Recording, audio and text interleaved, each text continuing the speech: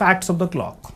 Few facts we'll try to understand. Just to go in uh, you can say just you feel you know the fundamental thing or fundamental uh, definition of the clock or what how many type of clock can be possible. Just idea just idea. Here no need to go in depth because it is not needed.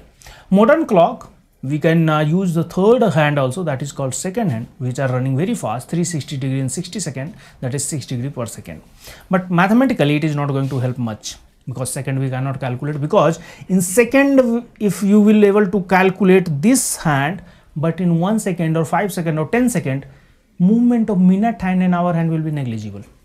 Minute hands and hour hands will be negligible if you are calculating 20 second or 30 second or 50 second even. Even 1 minute 2 minutes it will be negligible movement.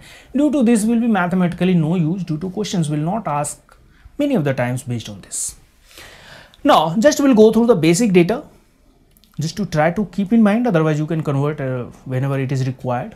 One day number of hours is 24 number of minutes 24 into 60 1440 and number of seconds will be 86400 daily we are getting 86400 one week number of hours this one minutes this is a good pattern 554400 one year similarly just i am giving you idea no need to remember. If you have brain can store billions of things. If you want you can keep it. Otherwise just I given maybe many of the times it will be needed to convert. Then immediately you just keep in mind. Don't panic. These all are just you can say different position. This is 90 degree. Almost or we can say exact. It is exact. Whenever minute hand will go to the 12 and this is going to the 3 it will be exact perpendicular position.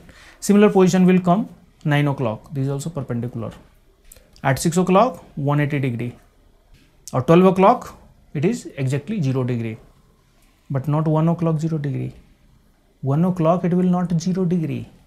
1 o'clock it will be 30 degree. When 1 o'clock is happen then what will be the time when clock will show 0 degree? When minute hand will reach here means around 1 degree 5 minutes afterwards 1 degree 5 minutes something. Then they will come overlap to each other Similar way here, these all are the just different representation. This you can keep in mind for fast conversion. 9 plus 9y, square root of 9, it will become uh, 12, it will become 1, it is 2, it is 3, 4, 5, 6, 7, 8, 9, 10, 11.